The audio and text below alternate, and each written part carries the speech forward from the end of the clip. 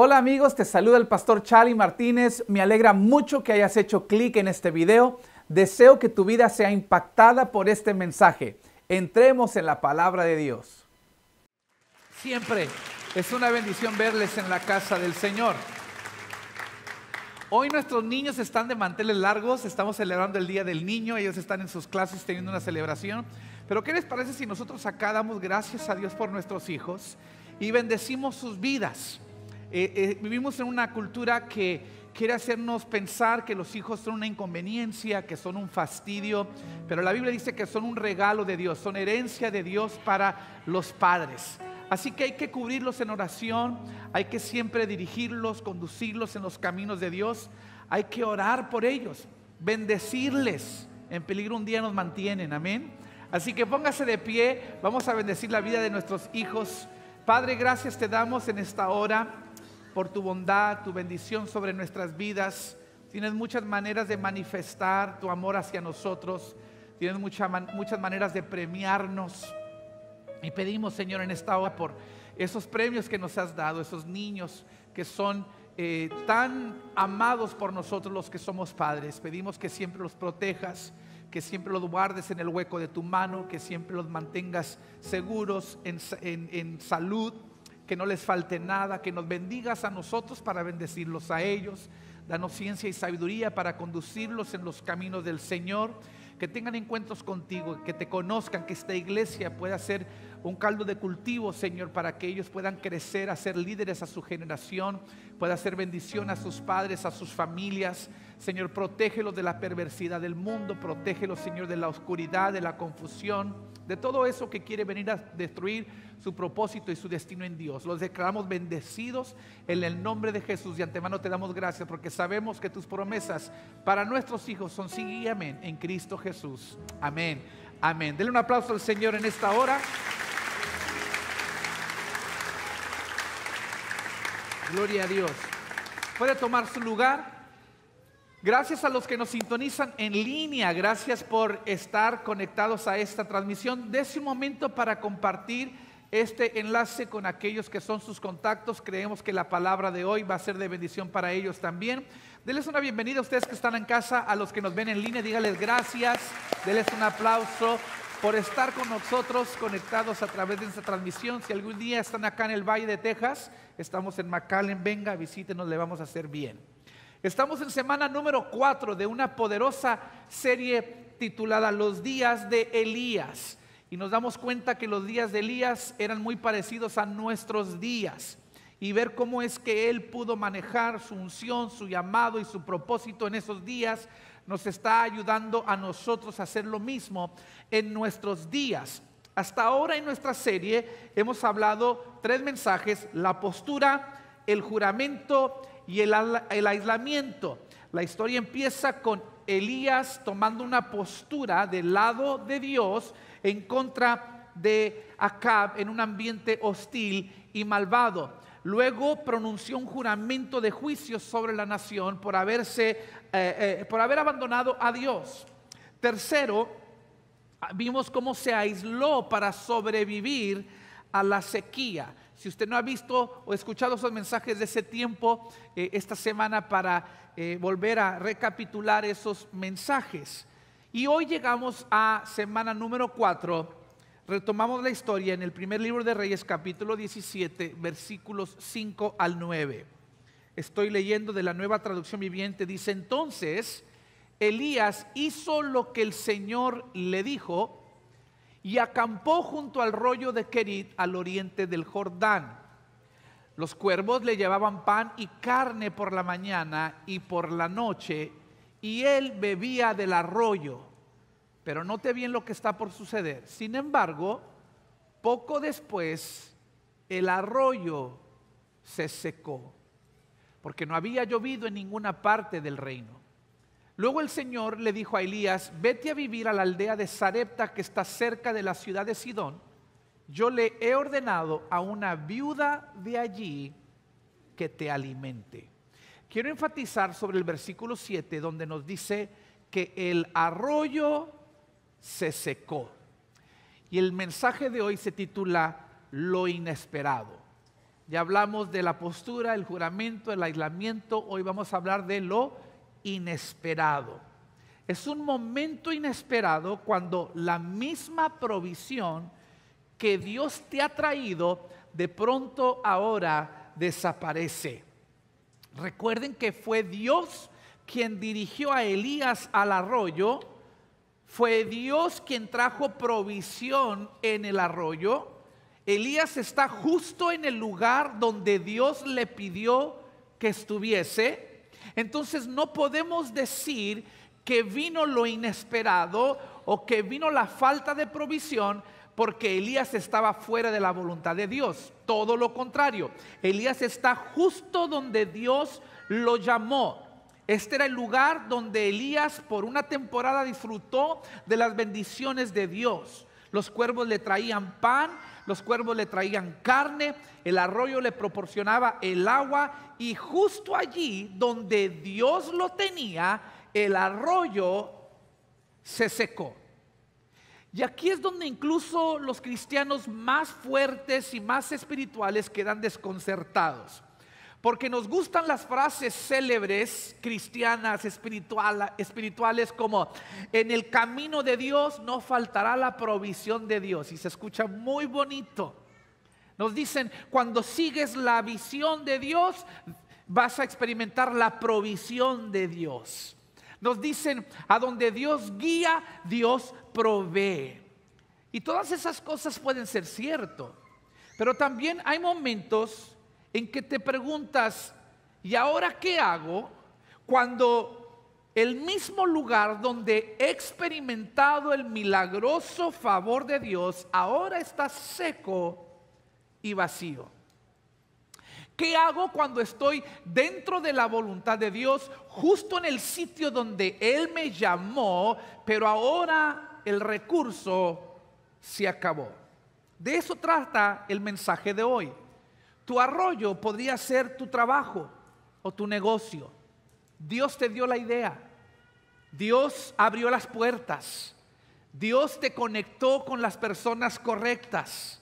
Y tu negocio, tu trabajo prosperó te proporcionó sostén y seguridad durante una temporada, pero después de un tiempo se vino abajo. Tu arroyo podría ser tu matrimonio. Hiciste votos ante el Señor y entre ustedes hicieron votos. El amor era del bueno y estabas seguro de que duraría para siempre, pero después de un tiempo se acabó.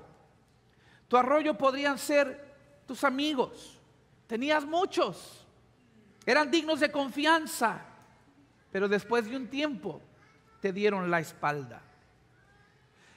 Nos preguntamos por qué Dios llevaría a su profeta a un lugar de provisión solo para después permitir que esa provisión se agotara.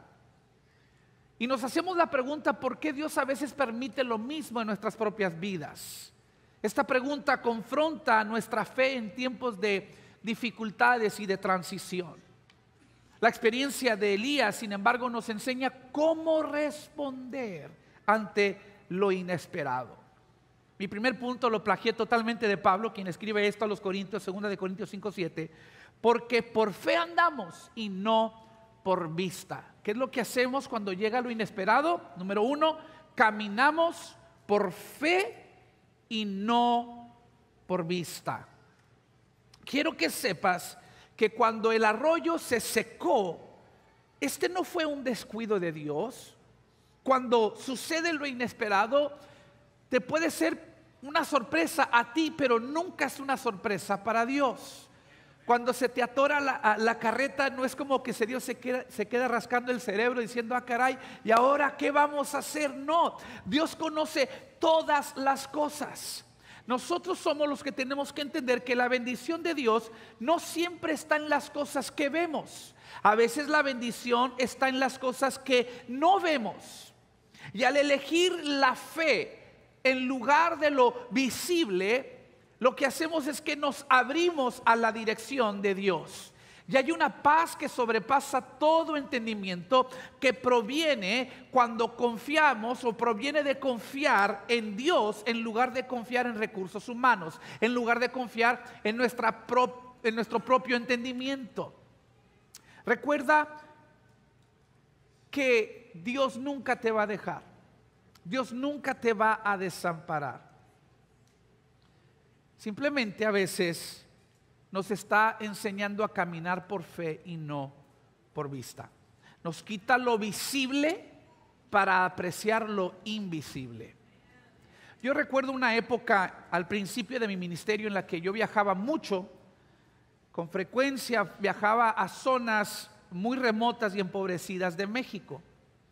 Me di cuenta que en ese tipo de lugares es donde yo veía más a menudo los milagros de sanidad.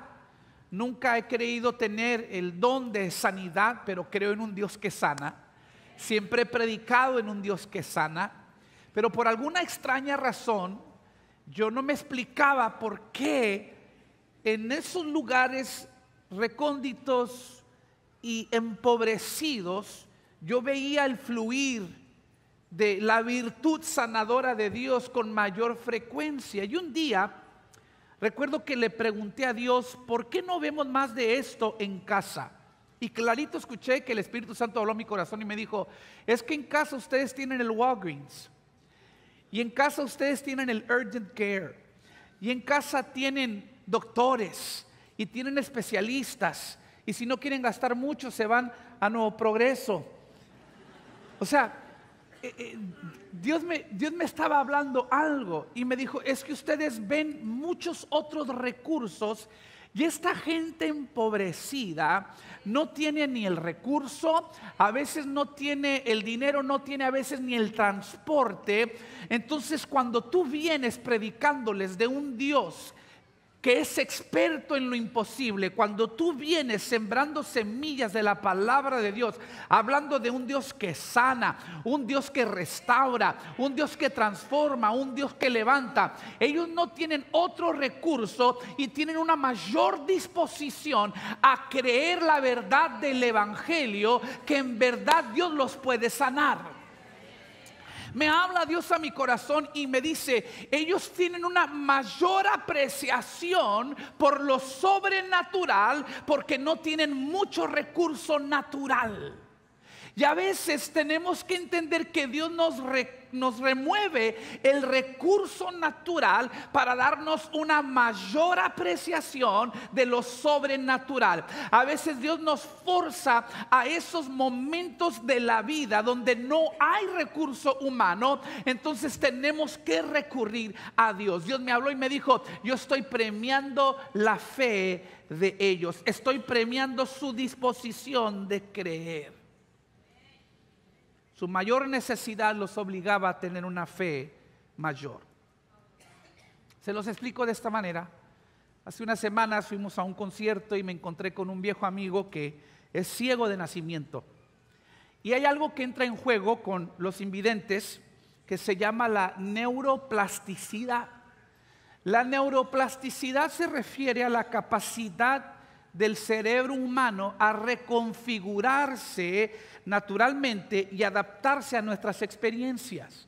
Entonces, en ausencia de la información visual, el cerebro se reconfigura solo y estimula los otros sentidos como para compensar. Por eso no es fuera de lo normal ver a un invidente tener, por ejemplo, un sentido de eh, audición mucho mejor que el nuestro. El oído de mi amigo Jerry, por ejemplo, es increíble. Recuerdo de jóvenes, mi hermano Abraham, en una ocasión estábamos yo y Jerry platicando en la casa de mis papás. Abraham llega, se estaciona afuera. Y Jerry dice esto, él dice, mira, ahí viene Abraham. Y yo dije, ¿cuál mira? ¿Y cómo sabes que es Abraham? Y él me dice, ah, yo sé que es Abraham por el sonido del, del motor del coche.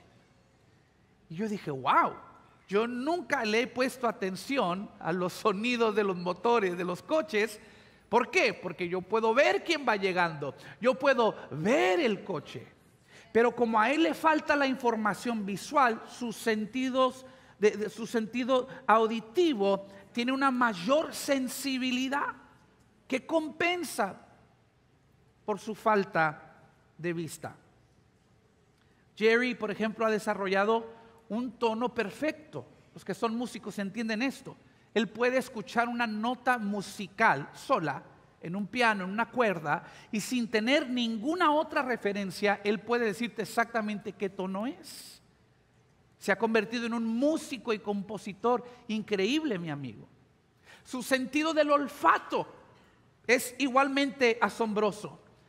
A él le encantaba cómo cocinaba mi mamá y él podía oler cuando mi mamá cocinaba y te decía qué carne estaba cocinando, qué especies estaba usando, porque le faltaba la vista, pero más sensible era su olfato. Su sentido del tacto, igualmente sorprendente. Él, eh, mi amigo, lee braille, los patrones de puntitos elevados eh, que, que lees con las yemas de los dedos, porque tiene un sentido del tacto increíble para caminar con confianza, Él te pone la mano en tu hombro y camina detrás de ti. Y Él tiene un sentido del tacto tan desarrollado que si tú pisas hacia abajo, Él siente donde baja el hombro y Él pisa hacia abajo para no tropezar. Si tú pisas un escalón, Él siente donde se eleva el hombro y Él pisa hacia arriba para no tropezar. Si tú te tropiezas, Él te quita la mano de encima y te deja caer solo. Es increíble cómo le hace. ¿sí? Pero esto es la neuroplasticidad del cerebro. Ahora escúchame, Jerry no tiene ninguna discapacidad en las piernas, la tiene en los ojos. Jerry pudiera caminar por sí mismo si él quisiera, pero probablemente tropezaría y caería y recibiría muchos golpes. Entonces, en lugar de caminar sin rumbo, en lugar de caminar peligrándose, camina con confianza detrás de alguien más. Y no sé a quién le estoy hablando el día de hoy, pero Dios quiere ser tu guía. Dios quiere ser quien va delante de ti, tú poniendo tu mano sobre su hombro, cuando el arroyo se seca, cuando ya no puedes ver lo que antes podías ver, ese es Dios dándole plasticidad a tu espíritu. Ese es Dios reconfigurando tu espíritu, mejorando tu conciencia de su presencia. Porque incluso cuando raciona sus provisiones, sigue derramando abundantemente su presencia. Cuando ya no puedes depender de lo solía ser confiable, esa es la invitación de Dios a poner tu mano sobre su hombro y seguirlo a donde Él te guíe. Ese es Dios cambiando tu enfoque de lo transitorio a lo eterno. Segunda de Corintios 4, 18 nos dice, pues las cosas que ahora podemos ver pronto se habrán ido, pero las cosas que no podemos ver permanecerán para siempre. Los propósitos de Dios, mis queridos hermanos, los propósitos eternos de Dios nunca tendrán un perfecto sentido para ti en este mundo temporal. Entonces son sus ojos y no los tuyos que sirven como la, mejor referencia para tu vida. Entonces cuando sucede lo inesperado, cuando el arroyo se seca, aprendemos a caminar por fe y no por vista. Y lo podemos hacer por este segundo punto, porque confiamos en la bondad de Dios. Cuando el arroyo se seca, cuando se acaba el recurso, cuando sucede lo inesperado, seguimos confiando en la bondad de Dios.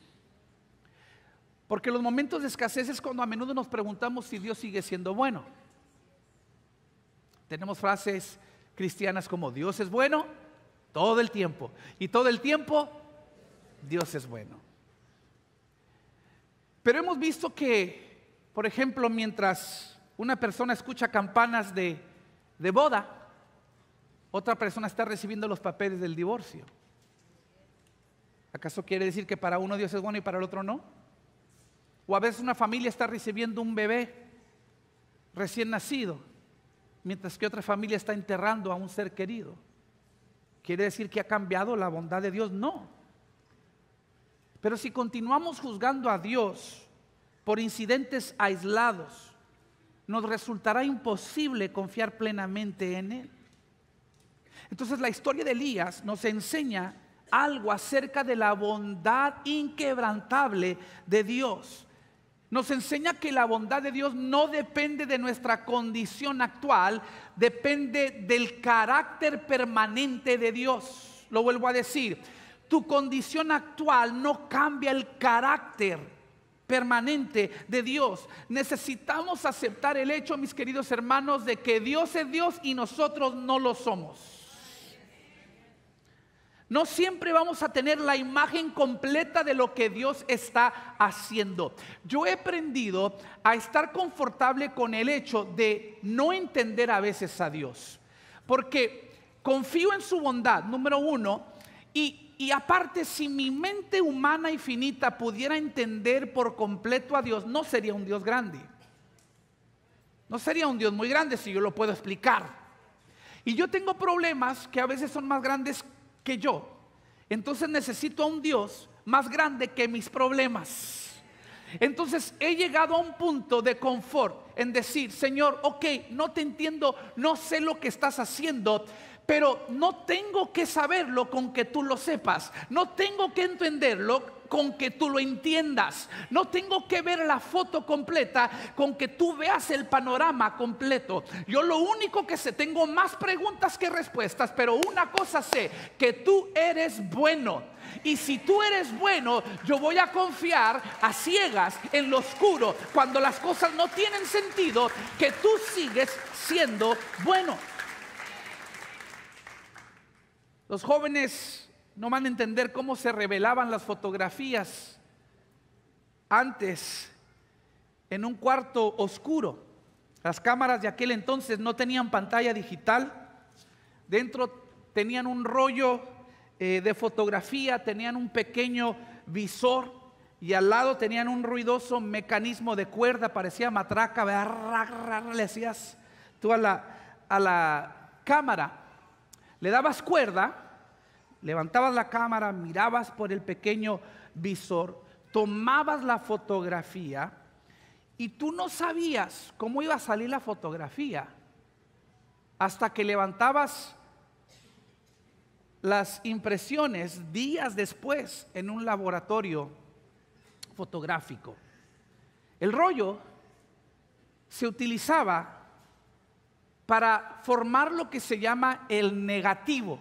Y esto nos predica, porque, porque ese rollo producía los negativos de las fotografías. Una imagen negativa es una inversión total en, en, que las áreas claras aparecen oscuras, las áreas oscuras aparecen claras, todos los colores se invierten, pero ese negativo se llevaba a un cuarto oscuro. Algunos de ustedes quizás trabajaron en un cuarto oscuro. No podías dejar entrar la luz porque era parte del proceso. Se metían en un cuarto oscuro para ser desarrollados tú no podías verlo, las luces estaban apagadas, pero había que confiar en la química, había que confiar en el proceso, había que confiar en el tiempo adecuado que se requería para desarrollar los negativos. De pronto ese negativo se estaba empezando a transformar en el positivo, una hermosa impresión de con un rango increíble, con una exposición increíblemente dinámica, colores vibrantes y yo estoy aquí para decirle a alguien que quizás lo inesperado llegó a tu vida porque ese es Dios simplemente metiéndote a su cuarto oscuro. Dios te dio una promesa, Dios te dio una imagen de su amor y de su propósito para tu vida, pero es posible que lo que no te dio es una imagen del proceso que se iba a requerir. Estás a oscuras, parece que a Dios no lo puedes encontrar por ningún lado. Las cosas no te tienen sentido, tienes muchas preguntas, pero lo que sabes es que Dios es bueno y simplemente está esperando el momento adecuado porque Él nunca llega tarde, pero tampoco llega temprano. Él, él llega justo a tiempo. Él sabe exactamente cuánto tiempo se va a tomar para que se desarrolle la belleza y el propósito de tu destino. Dios quiere que sepas que esta es una dificultad momentánea y cuando sea el momento perfecto, Dios va a abrir las puertas, Dios va a encender la luz y vas a descubrir que lo que se ha desarrollado en lo oscuro va a brillar en la luz. Ese es el amor de Dios. Alguien dele gloria al Señor.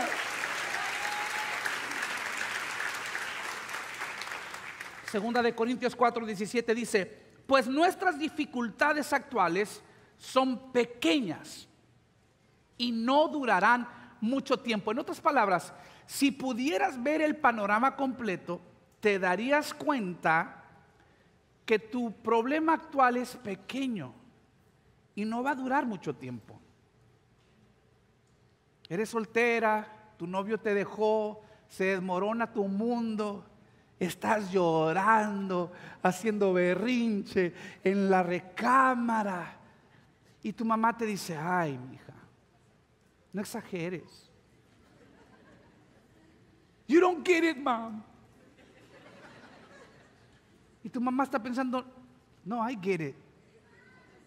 Pero tú no ves el panorama completo. Yo en un momento estuve en tus zapatos y me di cuenta que Dios tenía algo mejor para mí. Sí, con el que yo andaba ahora está en la cárcel. Con el que yo andaba ahora es mandilón. O ahora esto. Y, tu mamá te ve y dice, es que si pudieras ver el panorama perfecto, pero, pero no eres Dios, entonces no vas a ver el panorama perfecto. Pero un día te vas a dar cuenta que esta dificultad es momentánea, es pequeña, no durará mucho tiempo. Sin embargo, está produciendo en ti una gloria que durará para siempre y que es de mucho más peso que las dificultades. Dios está desarrollando tu fe. Dios está desarrollando tu madurez espiritual. Entonces, ¿qué hacemos? Abrazamos lo inesperado con una perspectiva eterna. Dios tiene toda una eternidad para dar, darle un giro a tu situación actual. Abrazas lo inesperado con esa perspectiva eterna y entendiendo que Dios es bueno. Ahora, esta perspectiva no elimina la dificultad, pero sí nos da una razón para soportarla. Elías no tenía la foto completa de lo que Dios estaba haciendo, pero él sabía que aunque el agua del arroyo se había acabado, el cuidado de Dios por él no se había acabado. Él sabía que todavía estaba bajo la atenta mirada de un Dios bueno y amoroso.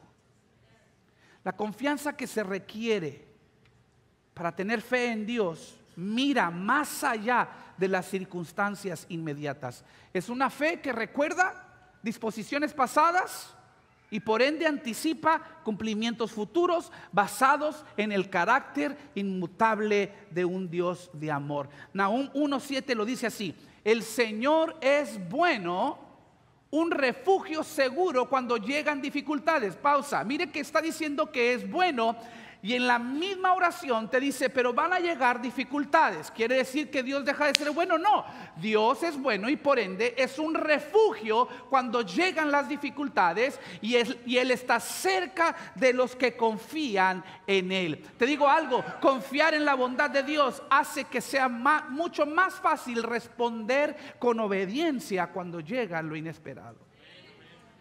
Esto nos lleva al número 3 ¿Qué hacer cuando llega lo inesperado? Practica la obediencia paso a paso.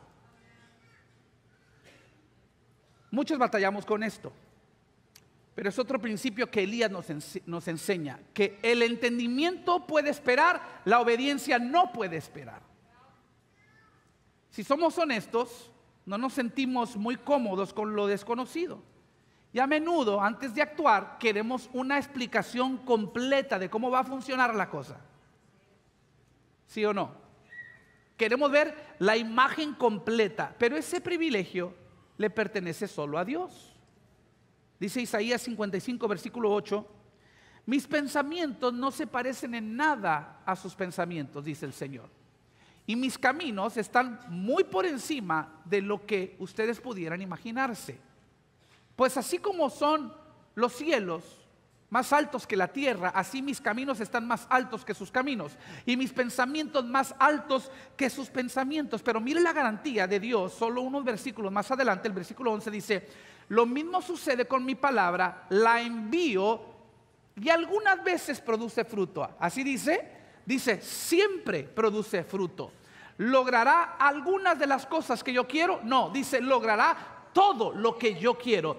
¿Y prosperará en algunos lugares? No, prosperará en todos los lugares donde yo la envíe. En otras palabras, mis caminos son mayores, mis pensamientos son mayores, y aunque no los entiendas, si los obedeces, siempre van a producir fruto, siempre van a cumplir su propósito, siempre te van a hacer prosperar. Alguien diga amén. Algunas de las cosas que Dios le venía pidiendo a Elías no tenían sentido humano.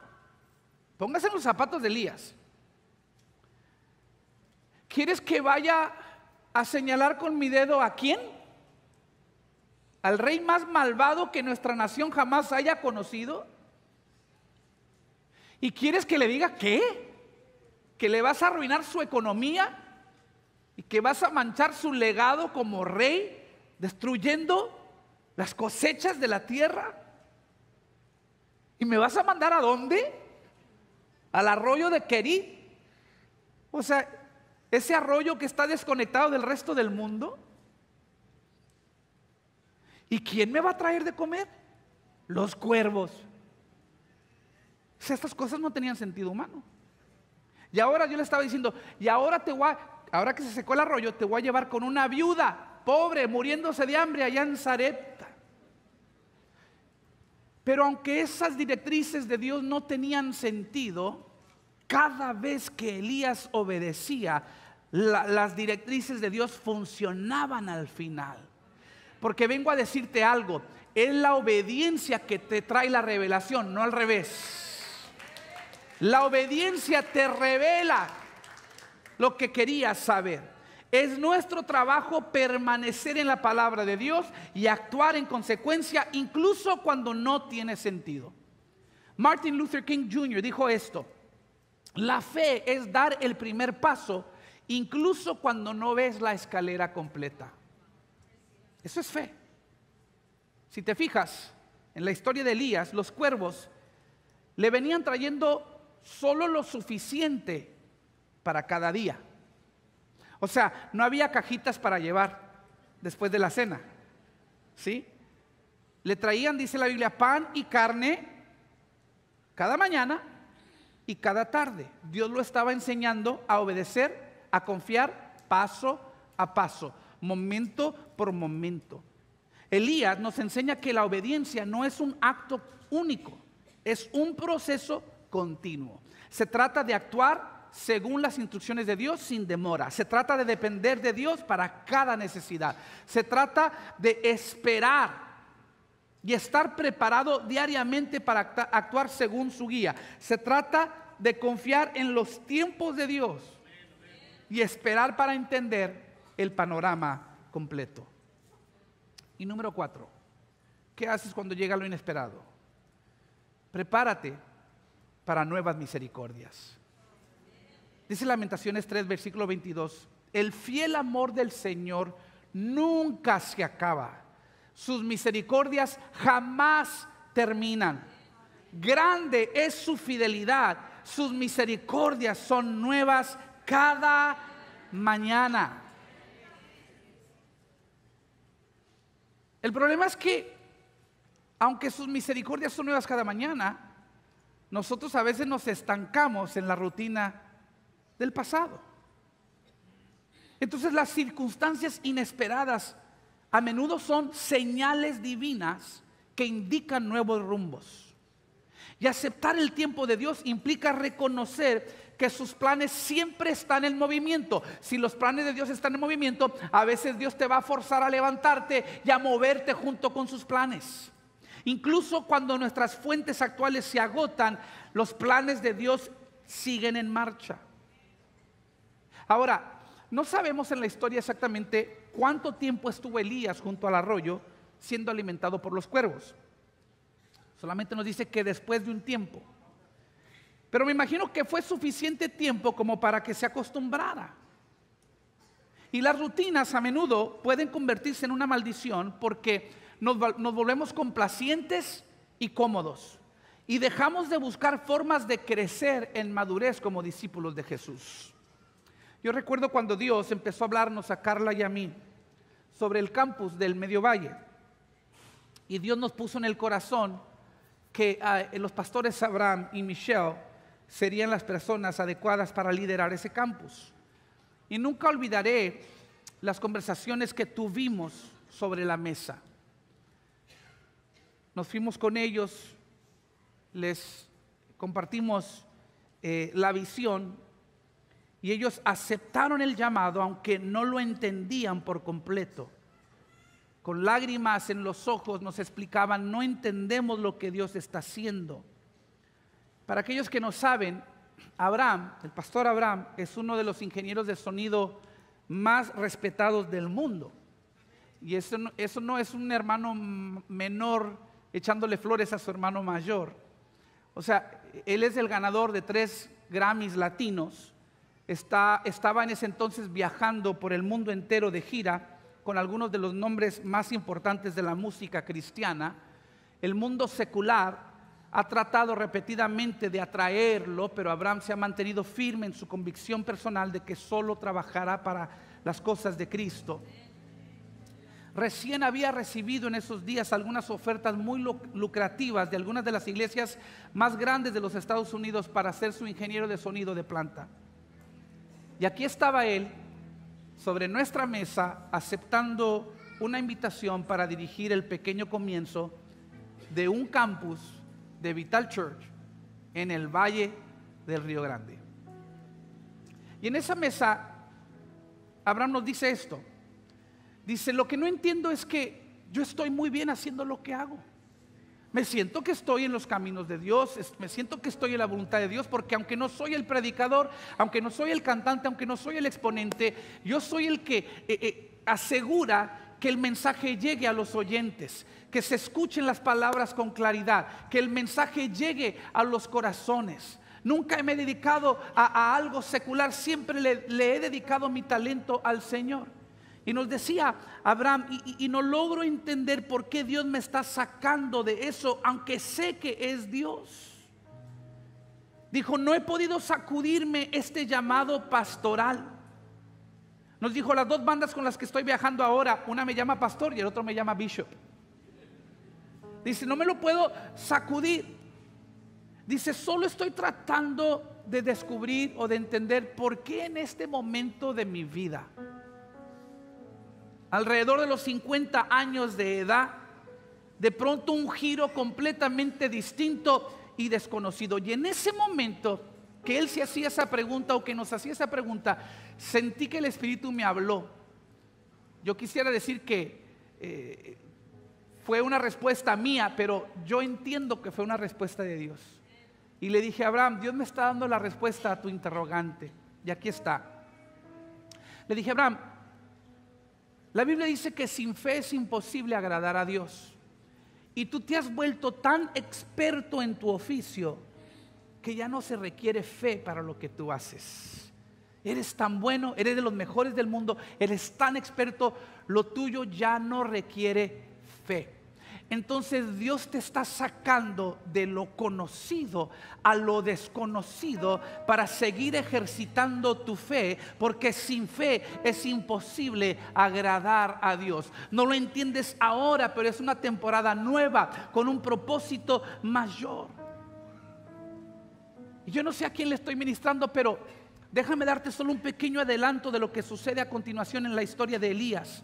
La siguiente parada de Elías era con la viuda en Sarepta. Estaba entrando en una nueva temporada en la que Dios no solo iba a proveer para Elías, iba a proveer a través de Elías. Lo vamos a hablar la próxima semana, pero escúchame bien, esto es solamente un previo. Un previo. En esta temporada del arroyo Dios estaba proveyendo para Elías, pero lo estaba introduciendo a una nueva temporada donde iba a proveer a través de Elías. Y esta es la palabra de Dios, la palabra rema de revelación que tú estabas esperando el día de hoy. Dios te ha traído lo inesperado. Dios te ha traído a un momento de muchos interrogantes, donde muy pocas cosas tienen sentido. Él te, él te está forzando a salir de tu comodidad y te está introduciendo a una nueva temporada donde Él te va a elevar para elevar a otros. Dios te va a usar a ti para bendecir a otros. En el arroyo solo Elías fue alimentado. En Zarepta se alimenta a toda una familia. Estoy aquí para profetizarle a alguien. Dios te va a levantar para que tú levantes a otros. Recuerda que el arroyo era una fuente natural de sustento, pero Zarepta sería una fuente sobrenatural de sustento. Dios te está moviendo hacia una fuente sobrenatural, sobreabundante. Lo inesperado ha llegado para darte un nuevo rumbo y para prepararte para mayores y nuevas misiones misericordias. Así que, ¿qué haces cuando llega lo inesperado? Lo abrazas caminando por fe y no por vista, confiando siempre en la bondad de Dios, poniendo tu mano sobre el hombre o el hombro de Dios y dejando que su espíritu te guíe paso a paso. Lo abrazas y te preparas para el propósito mayor que se avecina, porque fiel es el amor de Dios, nunca se acaba y sus misericordias jamás terminan. Venga lo que venga y pase lo que pase, nada ni nadie podrán detener que se cumpla el propósito de Dios sobre tu vida. Si Dios ha dicho sí, aunque el recurso se niegue, aunque desaparezca lo confiable, Dios sigue siendo fiel. Si alguien lo recibe, dele 15 segundos de su mejor alabanza al Rey de toda la gloria. Ese es nuestro Dios, ese es nuestro Rey. Lo que te está sucediendo no te va a detener. Nada podrá detener lo que Dios quiere hacer en tu vida. Algo me dice que hay algunos de ustedes aquí que este momento de altar es para ti. Yo sé que no caben todos, pero hay algunos de ustedes que específicamente acabas de entrar en una temporada inesperada. Y te preguntas, ¿por qué ahora? Yo tenía ya toda mi vida figurada, yo, yo ya sabía el final de mi historia, yo, yo pensaba que ya todo eh, eh, estaba eh, arreglado. Y de pronto se desmoronó el negocio. De pronto me corrieron, corrieron del trabajo. De pronto me pidieron el divorcio. De pronto me dieron el diagnóstico. Señor, ¿qué está pasando? Estaba caminando yo justo donde me tenías. Estaba yo acudiendo al sitio donde tú me habías plantado. Estaba yo siendo fiel a mi asignación. No me explico de dónde salió esto. Esto me sorprende. Eh, no, no sé qué es lo que estás queriendo hacer, pero Dios te trajo esta mañana para dar un poquito de luz y para decirte, mira, nada ni nada, nada ni nadie te van a poder detener. Abraza el momento, abraza el proceso que te estoy sacando. No lo ves ahora, no ves la luz al final del túnel, pero me tienes a mí. Pon tu mano sobre mi hombro y guíame, hijo. Y, y sígueme, hijo, sígueme, hija, que yo te voy a sacar a la luz. Yo te voy a llevar a la victoria. Yo no te voy a dejar, yo no te voy a fallar te ha fallado el recurso, pero la fuente inagotable sigue siendo yo. Yo sigo siendo el que siempre va a proveer para ti. Solo te estoy cambiando el rumbo. Y mientras que cantamos esto, que nada ni nadie te podrá hacer frente, yo te voy a invitar a abrazar esta promesa. Tenemos nuestro equipo de oración que quiere poner manos sobre ti y quiere servir como la voz de Dios en tu oído, diciéndote todo va a estar bien. Nada ni nadie te podrán detener. ¿Lo crees? Te invito al altar. Gracias Señor.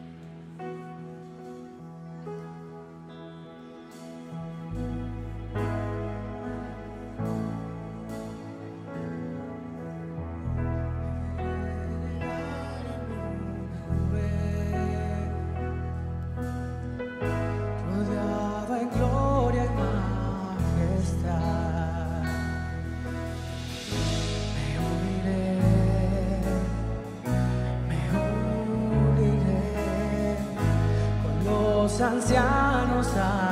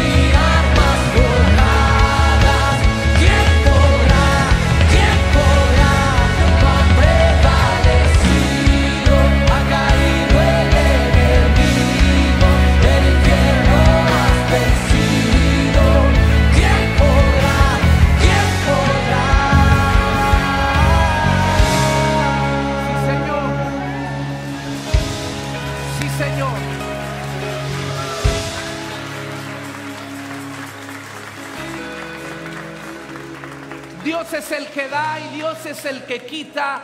Sea su nombre siempre engrandecido. Él conoce todas las cosas. Él conoce todas las cosas. No todas las situaciones son buenas, pero todas obran para bien. Para aquellos que aman a Dios y son llamados conforme a su propósito. Algo me dice que hay algunos de ustedes que nunca han tenido ese ser frente a ti, sobre quien poner tu mano, sobre su hombro, para ser guiado a toda verdad y a toda justicia. Ese hombre se llama Jesús. Él es el que te quiere guiar, Él es el que te quiere dirigir. Si nunca has hecho una decisión por Él, si nunca le has rendido tu vida, este es el momento para hacerlo. Dile conmigo, Señor Jesús, te entrego mi vida y mi corazón. Me arrepiento de mis pecados. Te pido perdón. Me dedico a servirte. Te confieso mi Señor y mi Salvador. Abrazo la gracia. Recibo el perdón. Y confiaré plenamente en ti. Cuando no tenga las respuestas, tengo a la respuesta. Gracias Jesús por mi salvación. En tu nombre oramos. Amén y amén. Si hiciste esa oración, felicidades. Has hecho la mejor decisión de tu vida. Y bienvenido a la familia. Si nos visitaste por primera vez a la salida, tenemos un regalo para ti. Nunca queremos que olvides tu primer visita vital, esperando que sea la primera de muchas más. Padre, que tu bendición vaya siempre con tus hijos, que experimenten cielos abiertos, que cuando se raciona la provisión se derrame la presencia y que tengan la confianza plena de que estás con ellos, aún en los momentos de incertidumbre, y que los llevas de la mano hacia un futuro mejor, un futuro glorioso y una salvación plena. Los declaramos bendecidos hoy y siempre en el nombre de Jesús. Amén y amén. Les amamos. Gracias por conectarte. Esperamos que hayas sido animado, inspirado y que regreses para ver reuniones futuras. No olvides suscribirte a este canal y seguirnos en nuestras plataformas de redes sociales para que no te pierdas ninguno de nuestros futuros videos o transmisiones en vivo. Recuerda compartir esto con alguien y únete a nosotros en vivo y en persona cada vez que tengas la oportunidad. Bendiciones.